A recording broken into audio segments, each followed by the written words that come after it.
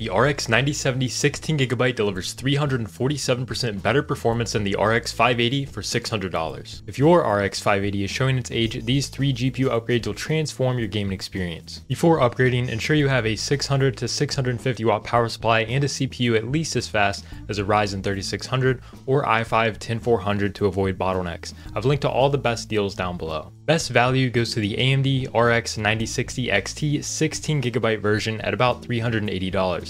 This card delivers 201% better performance based on aggregate benchmarks.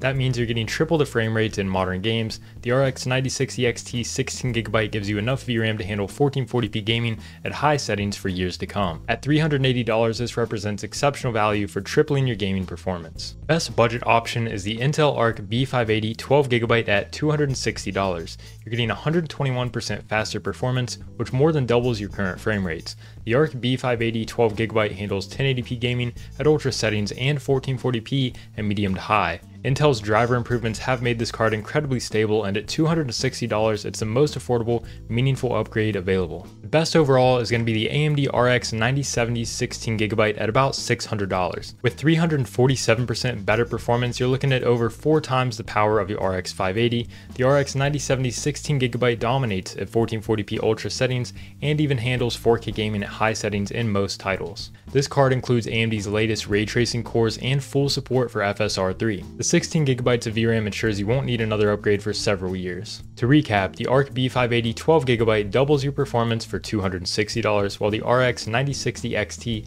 16GB triples it for $380, and the RX 9070 16GB delivers over 4 times more power for about $600. The 9060 and B580 require at least a 600 watt power supply, while the 9070 will require at least a 650 watt power supply. I'll link all these parts down below, and if you do make a purchase using my links, it supports the channel at no extra cost to you, and it's greatly appreciated. Check out some of the other helpful videos we have here on the channel, and as always, thanks for watching.